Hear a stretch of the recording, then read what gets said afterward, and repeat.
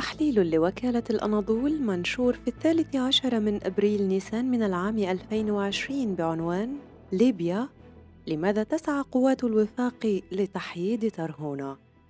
شرعت قوات الحكومة الليبية الشرعية باستهداف مدينة ترهونة ومحيطها خلال الأسابيع الأخيرة ولوحت بإمكانية اقتحامها وتحييد ميليشيات اللواء التاسع التي تعتبر رأس حربة ميليشيات حفتر في المناطق الجنوبية للعاصمة طرابلس. قال قائد غرفة العمليات المشتركة بالمنطقة الغربية التابعة لقوات حكومة الوفاق اللواء أسامة الجويلي إن قوات الوفاق قد تضطر لأعمال عسكرية في بعض مدن المنطقة الغربية على غرار ترهونة لكن بعد تحرير قوات الوفاق لكامل الشريط الساحلي غرب طرابلس قال خالد المشري رئيس المجلس الأعلى للدولة إنهم سيحتفلون قبيل شهر رمضان بتحرير ترهونة وعديد المناطق وفقا للخطط العسكرية. سبق هذه التهديدات قصف قوات الوفاق لترهونة بعشر صواريخ جراد أي قبل ثلاثة أيام من انطلاق عملية عاصفة السلام. لكن القائد الميداني في قوات الوفاق الطاهر بن غريبة قال إن الجميع عرف حجم قوة الضربات التي وجهت إلى ترهون المارقة مثلما عرفوا أيضا دقة الضربات على خطوط الإمداد في بني وليد ومنظومات الدفاع الجوي التي تقوم بتركيبها شركة فاغنر الروسية. في حين تداولت صفحات موالية لقوات الوفاق على شبكات التواصل الاجتماعي أنباء عن استهداف مقر يتبع اللواء التاسع بترهونة أثناء اجتماع بعض قادته ومنظومة دفاع جوي بانسير كانت طور التركيب. المؤكد أن ترهونة أصبحت هدفاً لغارات قوات الوفاق على غرار استهداف طائرة شحن عسكرية عند نزولها في مهبط للطائرات بمحيط المدينة. استمر طيران الوفاق في استهداف شاحنات نقل الوقود والذخائر وإمدادات الأسلحة على الطريق بين مدينتي بني وليد وترهونة. ونظرا لوجود ترهونة في منطقة تحيط بها جبال وتفتقد إلى مطار أو منفذ بحري فهي مضطرة للاعتماد وبشكل كبير على الإمدادات البرية القادمة عبر بني وليد. خاصة بعد توقف الإمدادات القادمة من طرابلس ومصراتة وغريان بسبب الحرب. ومع استهداف طيران الوفاق لخط الإمداد قاعدة الجفرة الجوية بني وليد تارهونة أصبحت المدينة شبه محاصرة ونقص الوقود بالمدينة يكاد يتحول إلى أزمة خانقة.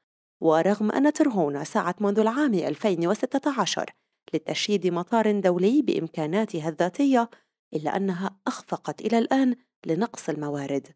وكل ما لديها مهبط للمروحيات وطائرات الشحن العسكرية.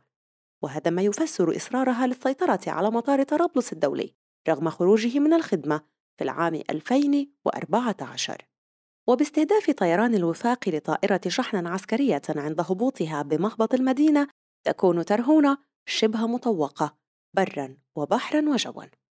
يشعر كثير من أهالي المدينة بالتهميش رغم أنهم يمثلون إحدى أكبر قبائل الغرب الليبي ولديهم إمدادات داخل طرابلس فكثير من سكان أحياء جنوبي العاصمة ينحدرون منها على غرار قصر بن غشير والخلة والخلاطات. وحتى بعد مشاركة جزء من أبنائها في الثورة على القذافي عام 2011 إلا أنها لم تنل نصيبها من الثروة والسلطة خاصة أن شيوخ المدينة دعموا نظام القذافي. وافتقاد المدينة أي منفذ جوي أو بحري قلص من أهميتها الاستراتيجية وتركها متوارية خلف الجبال. لذلك سعى اللواء السابع بالمدينة للسيطرة على مطار طرابلس القديم في العام 2016 مستغلا المواجهات بين حكومة الوفاق وكتائب حكومة الإنقاذ في طرابلس. لم تكن أهداف اللواء السابع واضحة فمن جهة يعتبر نفسه جزءا من قوات الوفاق والأخيرة تتبرأ منه بل حتى حفتر تنصل منه حينها. كان خليطا مشكلا من السلفيين وعساكر اللواء 32 وأنصار حكومة الإنقاذ وموالين لحكومة الوفاق. وخصوم لحفتر وآخرين داعمين له. الشيء الوحيد الذي كان يجمعهم انتماؤهم القبلي لترهونة في العام 2018 وقع اتفاق بين اللواء السابع ترهونة وكتائب طرابلس برعاية حكومة الوفاق على أن ينسحب من مناطق سيطرته جنوبي العاصمة وأن يتعهد بعدم مهاجمتها. لكن ومع إطلاق حفتر عمليته العسكرية للسيطرة على طرابلس في إبريل نيسان من العام 2019 انضم اللواء السابع له وأصبح يسمى اللواء التاسع بعد توحيده مع اللواء 22 ترهونة. كانت ضربة خنجر لترهونة في ظهر حكومة الوفاق وتملصا من تعهداتها دون سابق إنذار. وأكبر خطورة شكلها اللواء التاسع أنه على عكس قوات حفتر القادمة من الشرق يعرف عناصره جيدا أرض المعركة وجزء من أحياء وسكان طرابلس امتداد لترهون ذاتها.